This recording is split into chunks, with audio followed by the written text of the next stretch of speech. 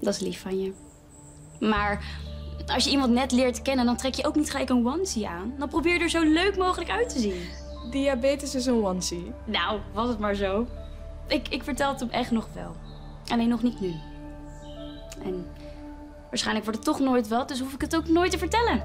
Eh, de, als hij je echt niet leuk vond, was hij nooit naar je optreden gegaan. Oké, nou, ga je open naar me bellen. Ik ga even naar huis, dan trek ik wat leuks aan. En wil jij mee?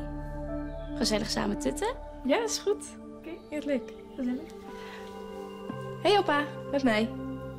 Yes, eh, kom je vanavond bij ons eten?